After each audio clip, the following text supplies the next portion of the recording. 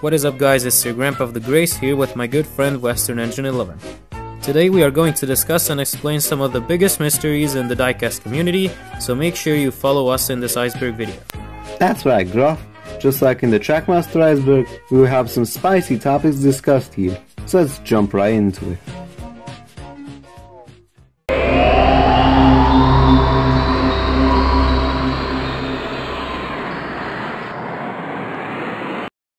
Shark Exhibit Box.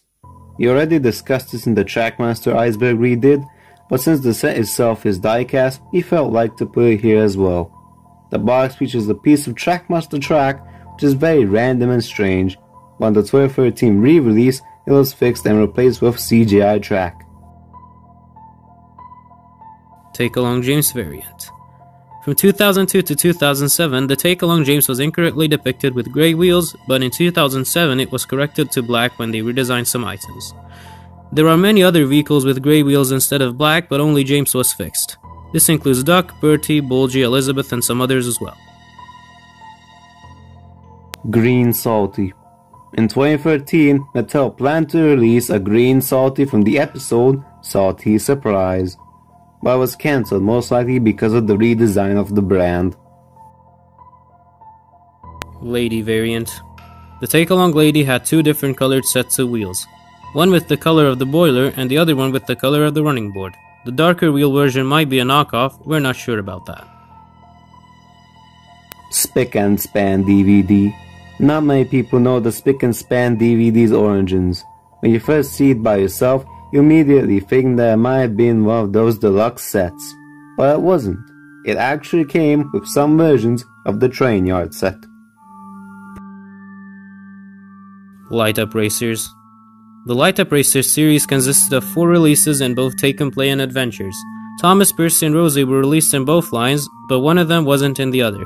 Charlie was in Take and Play, but he was replaced with Stanley in Adventures. Not sure about why did they do this.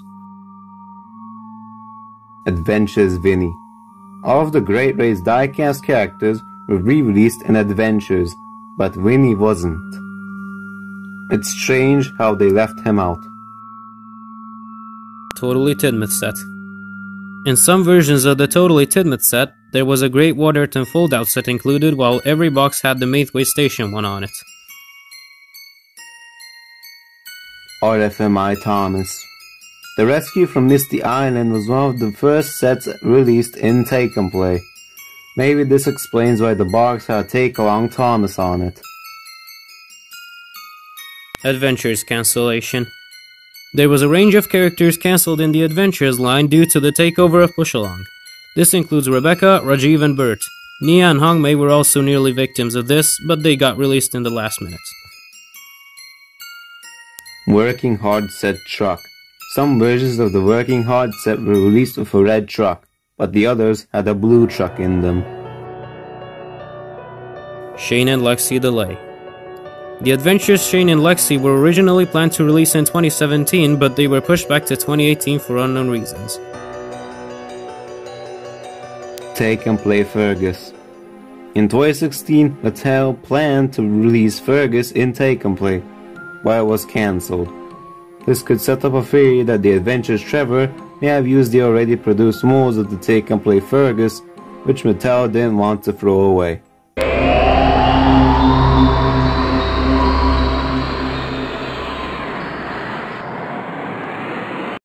Twin releases when the second redesign of Take and Play came out, several twins were released as well. The odd thing about them is that 99% of them were released one year after the other. Ben, Dash, and Bert were released in 2014, while their twins were released in 2015. The only exception are Donald and Douglas and Max and Monty, which all came out in 2015. Interactive Learning Railway Edward. There's a range called the Interactive Learning Railway, which is basically Take Long and Wooden Railway mixed up. They made this Steam Team from 1 to 7, but they left Edward out for some reason. Here's an edited image of how he would have looked like. Take Along Cranky variant. The Take Along Cranky was released in two different designs, one which had a scrolling string on it and the other one was electric. The electric one was released on a brown or orange platform which looks nothing like Brendam Docks' environment. Presumably it was done because they had to fit the battery compartment and the motor somewhere. Collectible Railway Charlie variant. The Collectible Railway Charlie has a variant where the buffer beam is not painted. Even on this one set's box, it was changed. 2013 Henry variant. The 2013 Henry was the only CGI character not to receive a CGI face on his model. On later versions of him, it was changed so he got a CGI face too. Take Along Lorry 1 From the three lorries, only Lorry 1 was released in Take Along. A theory on why he was the only one is that Ertl only made him as a sea-soaked version, while the other two were regular releases. This left learning curve to produce a regular version, completing the fleet.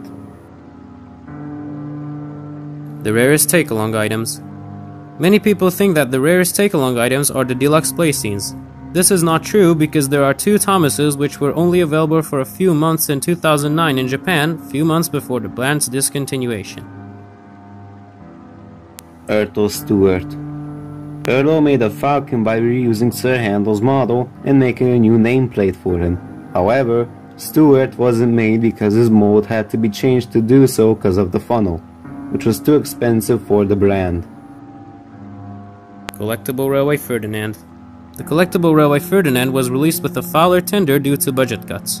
Odd thing though that this original tender was used for his Adventures release, possibly because they didn't want to make a plastic mold for Ferdinand's unique tender design, meanwhile the Adventures just had to reuse his take and play counterpart's tender. Take and Play Talking Charlie. Most of the Toy 10 Take and Play Talking releases have the same face as their regular counterparts. However, they made a different one for Charlie for some reason. The regular release had a laughing face to him, whereas the talking one received the most subtle smiling face. Adventures Duck. Mattel planned to release the Adventures Duck in 2018, but it was cancelled. Here is a picture of him. We found it as a prototype pic, but I think it's only an edit. Ertl Daisy. The Ertl Daisy's design lacks the front coupling, but it's clear that her buffer beam has room for one. Very odd indeed. Bertram. Bertram's Ertl model had an incorrect U instead of an A in his nameplate. This is true for his Trackmaster prototype too, but it was fixed on the later version. Adventures and collectible railway differences. Most of the people count Adventures the worldwide version of collectible railway. However, they are not entirely the same. Most of the Adventures tenders are metal, however, all the collectible railway tenders are plastic. Percy received an entirely new mold with a new footplate in Adventures. There are some smaller differences in detail as well, for example buffer beam paint, etc. Hank box error. On the Hank and the Fishes multi-packs packaging, his tender is reversed.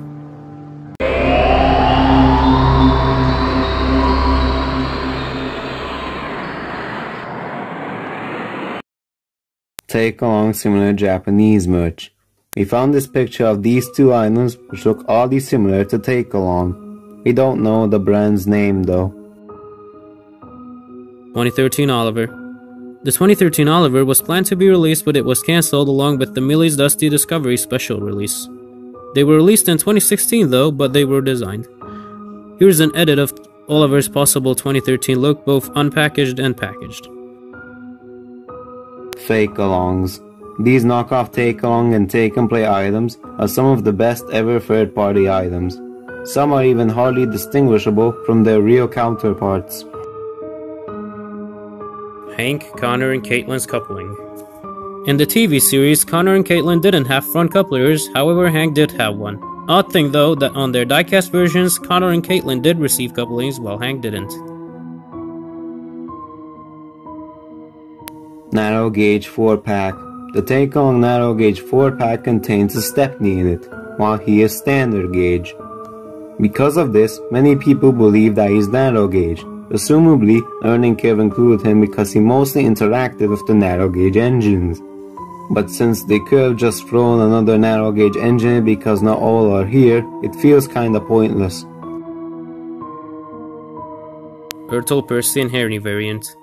The Ertl, Percy, and Henry were released in two shades of green. We don't know how this was done, which was first. Was it intentional or not? So it's all a mystery. Milk tanker variant. We are not sure this is true or not since we didn't find any information about this.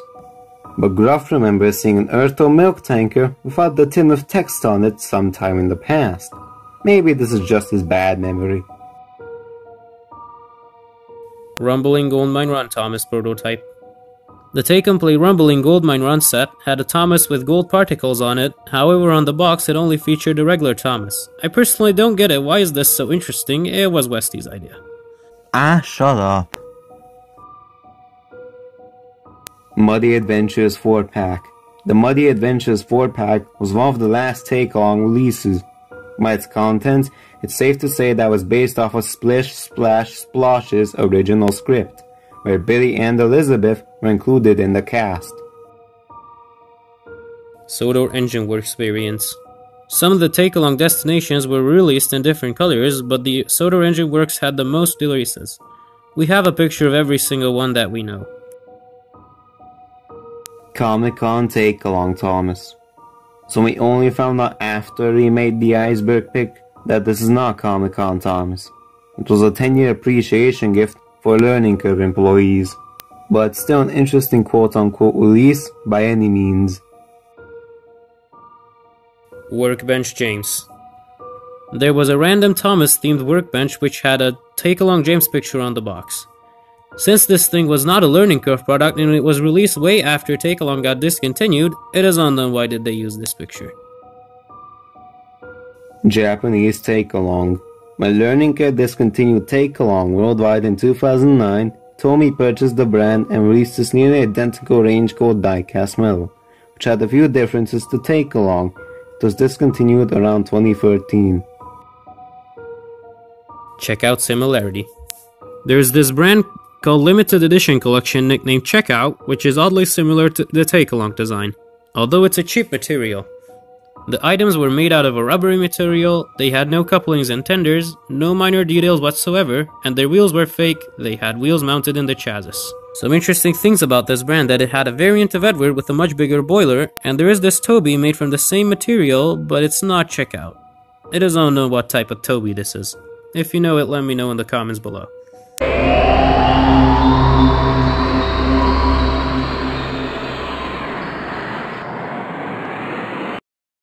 Ertl board game Thomas. There was a board game of this Thomas included in it for some troublesome trucks. Its design closely resembles the Ertl Thomas. Take Along Silver Thomas with Wooden Railway logo. The Take Along Silver Thomas is a quite popular special engine release. What's not so popular about it is that the early versions had a Wooden Railway logo on the box, but it was fixed on the later versions. Take Along catalog error. On this take along checklist from the Timber Shed set, the Lights and Sounds waterfall tunnel is incorrectly called Lights and Sounds drawbridge. Sodor Warehouse set. This was the early version of the Working Hard set, which didn't include Duncan yet. 2013 Spencer. When the first revamp of the brand came around, most of the popular engines were redesigned as well. Spencer is a different breed in this case, since he only received the talking version. He only got a regular one in 2014, which is the dumb magnet one. Another interesting thing that this one only came with a four-wheel tender. 2013 Thomas variant. There are some versions of the 2013 Thomas equipped with an incorrectly molded fatter face. These were mostly released in the Shark exhibit set. De Agostini similarity. There was a time when De Agostini produced Thomas merch which closely resembles the Ertl line. 2013 Donald. In 2013, only Douglas was released from the Scottish Twins. Donald was left out for unknown reasons. We didn't find any information on why he wasn't released. It isn't even said whether if it was cancelled or not. Early 2014 engines. Just before the second revamp of Take and Play, there were 2013 ones with unpainted buffers and whistles. Adventures ad error. On an Adventures ad, the Trackmaster logo was put there accidentally. Some say it was intentional though, since that was the first push along ad. Early Ertl engines. The very first Ertl engines in 1984 were not only paper-faced, but they also had white running board modes.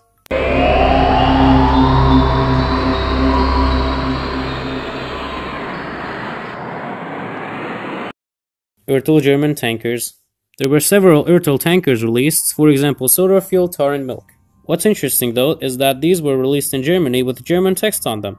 Very odd, we had never seen such a thing before that not only the packaging is changed, but the item itself as well.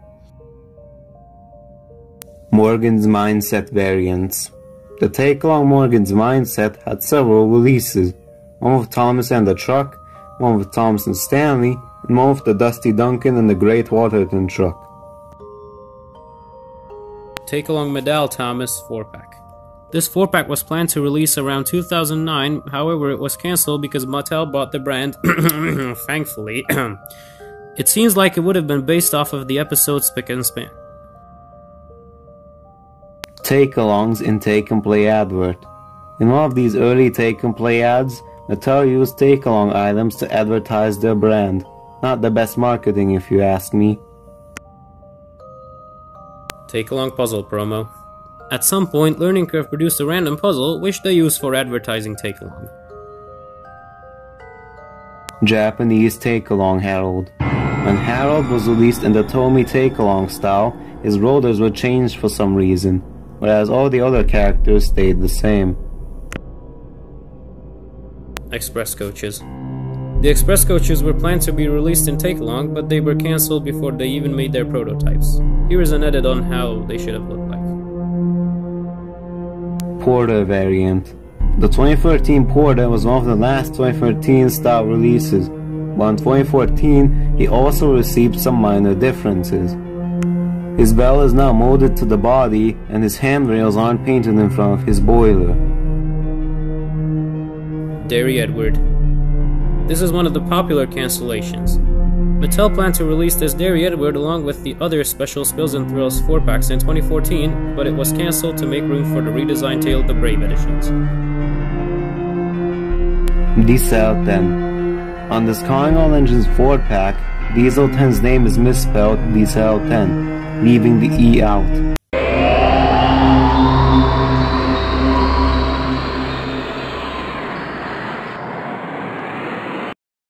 Ertl, Culdee, and Godred prototypes. Not only the Ertl, Culdee, and Godred's prototypes were made in real life, but they were also up for sale at some point. Their whereabouts are unknown. Prototype Ben Free Pack. The Ben Cement mix-up was of the 2014 Tale of the Brave Take and Play free packs. But last year, we found this auction on eBay where Ben had black wheels and different windows. Only the prototype had black wheels, so this claims it might have been a prototype. Credit to Old Iron 1014 on Instagram who owns it. Make sure to follow his account, guys. Take and play and collectible railway packaging.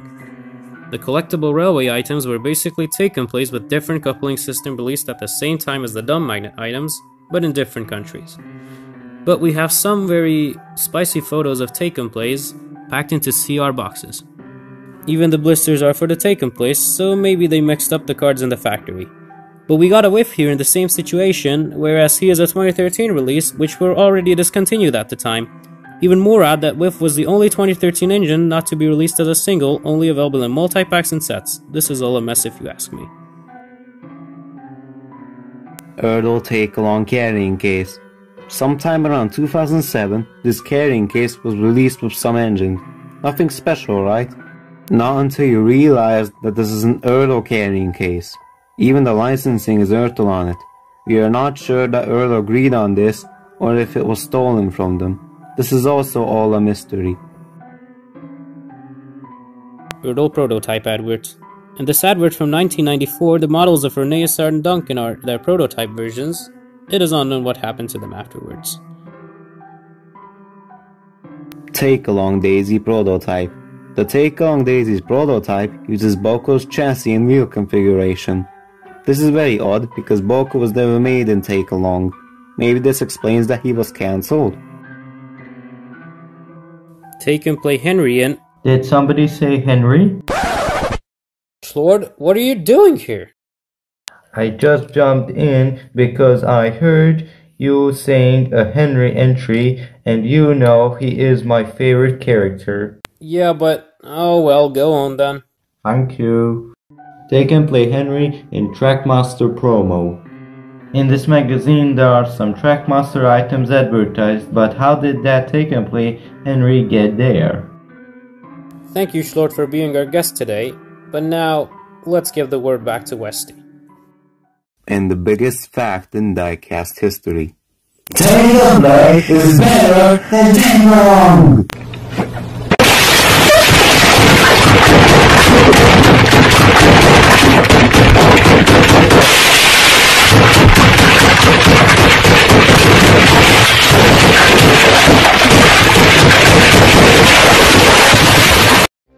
So that wraps up the diecast iceberg. I hope you all enjoyed it. A special thanks to my friend Westy who helped me make this video, and to my brother Chlord who jumped in for an entry, and for everyone else we got the information from. Merry Christmas and Happy New Year! See you all next time. Bye. This was Sir Granpuff the Grace, signing out. Peace.